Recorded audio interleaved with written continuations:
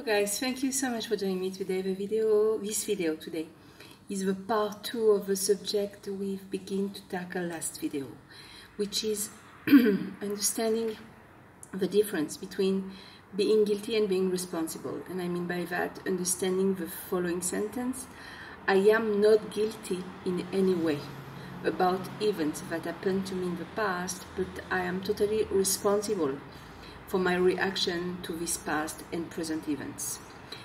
There is no real healing process without understanding this subject. Stay with me and put on your seatbelt. It will be a fast drive.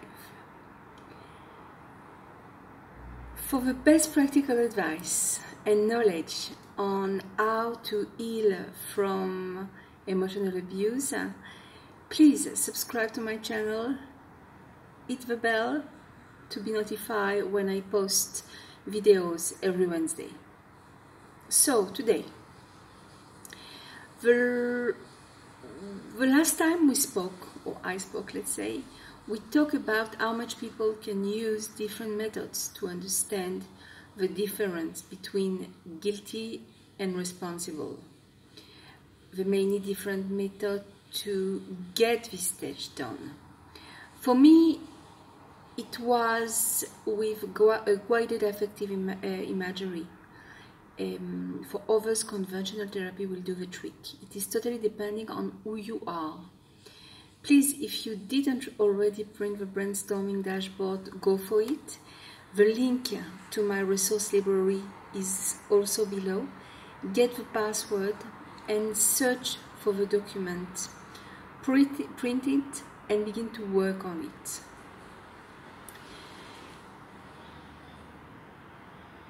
Please comment below about subject you are struggling um, on your healing process and I will be really happy to treat the subject on future videos.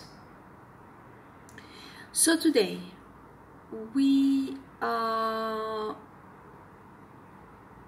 trying to give you an idea about how much this stage is tricky at the beginning of the healing process.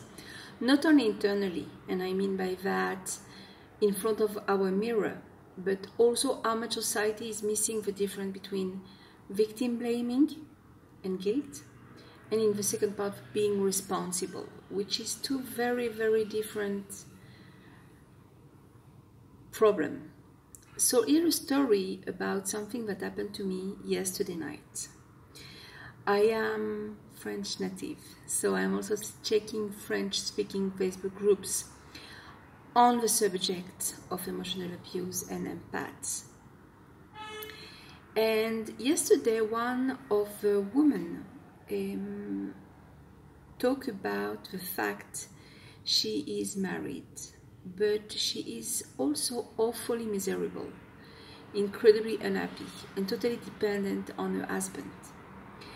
A spouse who has children from past relationship told her that his children will always come first, which, let's be honest, is a reaction you would like to expect from any father on earth, but it hurt her tremendously. This woman is obviously suffering from serious emotional wounds and she is literally drowning in her own private hell. So I was really honest and I told her that the problem is not about him. She needs to solve her emotional wounds. She needs to grieve and put that behind her. She needs to learn about well being. She needs to take back the control of her life. And again, I really try to explain the difference between being guilty and being responsible. Telling her she is absolutely not guilty for any kind of events that provoke those emotional wounds. But she is totally responsible for the way she is reacting right now to those events. She is responsible for healing her emotional wounds.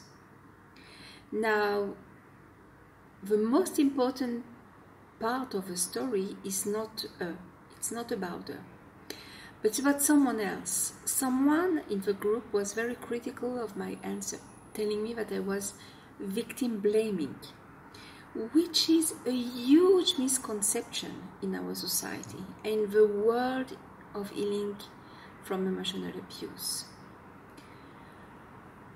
We are simply missing the point.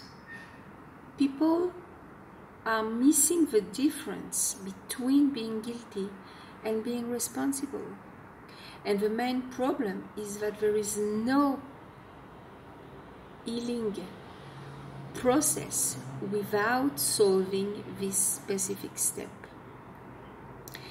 Another very important point is the fact that taking responsibility for my actual well being and my reaction to past and present events doesn't in any way reduce the fact I was abused or I was hurt. This is also something that stops victims in their tracks. Please visit my official Facebook page, the link is below, which is about general topics, topics on subjects of healing from emotional abuse. If you like this video, please let me know by liking it, subscribe, and share it with your friends. If you find it helpful, and even if not, please comment below and leave your feedback.